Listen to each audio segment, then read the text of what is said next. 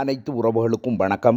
நாம் இன்றைய வீடியோவில் பார்க்க இருப்பது ஐபிஎல் ரெண்டாயிரத்தி இருபத்தி ரெண்டாம் ஆண்டு சுற்றுப்போட்டிகளின் முப்பத்தி ஓராவது போட்டியாக நேற்றைய தினம் ஆர்சிபி மற்றும் லக்னோ அணிகளுக்கு இடையிலான போட்டியானது டிவை பட்டேல் மைதானத்திலேயே நடைபெற்றது.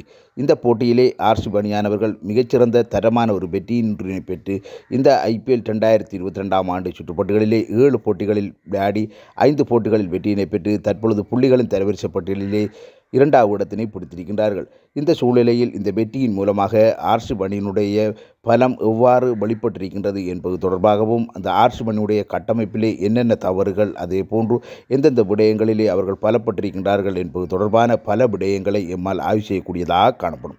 இதன் அடிப்படையில் முதலில் பார்க்கின்ற சந்தர்ப்பத்தில் நேற்றைய தினம் நடைபெற்ற போட்டியிலே முதலில் துடுப்படுத்தாடிய ஆர்சி அவர்கள் நூற்றி எண்பத்தி ஒரு ஓட்டங்களை பெற்றுக் கொண்டிருந்தார்கள். அந்த அணி சார்பாக அணித்தலைவர் ஃபப் டூப்ளஸ் அவர்கள் மிகச்சிறந்த பெருவரனை வெளிப்படுத்தியிருந்தார். தொண்ணூற்றி ஆறு ஓட்டங்களை பெற்றுக் கொடுத்திருந்தார். அதே போன்று மத்திய வரிசை துடுப்பாட்ட வீரர்களான சபா சகமட் இருபத்தி ஆறு ஓட்டங்களிலேயும் கிளேன் மிக்ஸ்வெல் இருபத்தி மூன்று டினேஷ் கார்த்திக் பதிமூணு என்கின்ற ஓட்டங்களை பெற்றிருந்தார்கள்.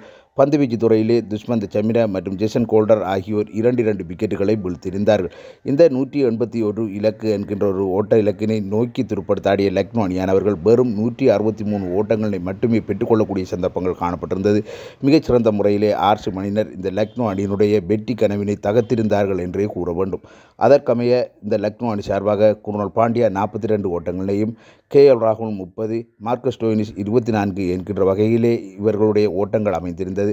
ஆர்சி மணி சார்பாக ஜோஸ் கஸ்லிபுட் நான்கு விக்கெட்டுகளையும் கர்ஷப் பட்டேல் இரண்டு விக்கெட்டுகளையும் முகமது சிராஜ் மற்றும் கிளென் மெக்ஸ்வெல் ஆகியோர் தலா ஒவ்வொரு விக்கெட்டுகளையும் பொழுத்திருந்தார்கள் இதன் மூலமாக இந்த ஐபிஎல் ரெண்டாயிரத்தி இருபத்தி ரெண்டாம் ஆண்டு சுற்றுப்பட்டுகளிலே நடைபெற்று வருகின்ற போட்டிகளில் அனைத்து அணிகளும் இரண்டாவதாக துடுப்படுத்த ஆடுகின்ற சந்தர்ப்பத்திலே வெற்றியினை தொடர்ச்சியாக பெற்று வருகின்ற சூழ்நிலையில் ஆர்சி மணியானவர்கள் முதலில் துடுப்படுத்தாடி தொடர்ச்சியாக இரண்டு வெற்றிகளை அவர்கள் பதிவு செய்திருக்கின்றார்கள். இதன் மூலமாக ஏனைய அணிகளுக்கு ஒரு மிகவும் ஒரு சவால் விடுகின்ற ஒரு அணியாக இந்த ஆர்ட்ஸ் பணியினர் காணப்படுகின்றார்கள். ஏனைய அணிகளை ஒப்பீடு செய்து பார்க்கின்ற சந்தர்ப்பத்தில் அவர்கள் வெற்றி பெறுகின்ற பெரும்பாலான போட்டிகள் இரண்டாவதாக துடுப்படுத்த ஆடுகின்ற சந்தர்ப்பத்தில் மட்டுமே அவர்களுக்கு அந்த வெற்றி என்பது கிடைக்கப்பட்டிருக்கின்றது ஆனால் ஆர்ட்ஸ் அணியினை பொறுத்தவரையில் அவர்கள் இறுதியாக விளையாடிய இரண்டு போட்டியிலும் முதலில் துடுப்படுத்த ஆடுகின்ற சந்தர்ப்பத்தில் அந்த வெற்றியினை பெற்றிருக்கின்றார்கள். இது டி டுவெண்டி போட்டிகளிலே ஒரு கடினமான ஒரு இலக்காக காணப்பட்டாலும் இந்த ஐபிஎல் ரெண்டாயிரத்தி இருபத்தி ரெண்டாம் ஆண்டு சுற்றுப்போட்டிகளில் அது ஒரு பாரி ஒரு இலக்காக காணப்பட்டது.